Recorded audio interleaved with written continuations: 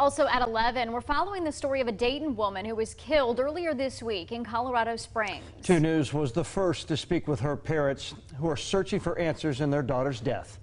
2 News reporter Allison Gens is digging deeper into this story.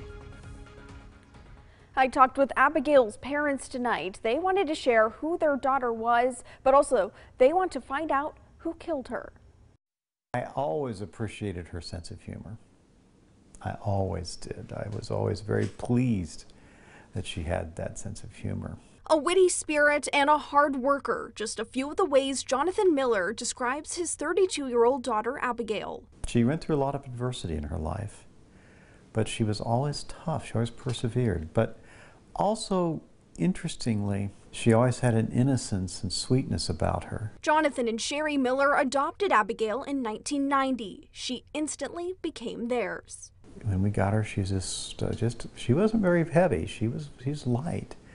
But I knew that when I saw her, that was my girl. Jonathan says Abigail moved to Colorado Springs for a job earlier this month and had been there no more than a week when he received a call from police that he and his wife will never forget. For me, it's in fits and starts.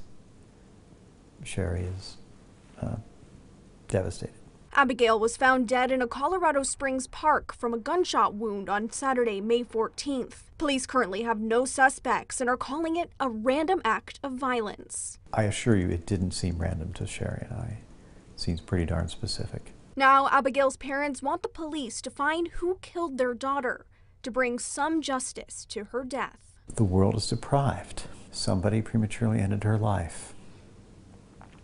And we, certainly We'll live that. We'll take a little bite of that every day for the rest of our lives. Abigail's parents say anyone who wants to honor her to make a donation in her name to St. Vincent de Paul in Dayton. They also ask anyone with information that they may have to contact the Colorado Springs Police Department or their tip line 719-634-STOP. In the studio, Allison Gens, 2 News, working for you.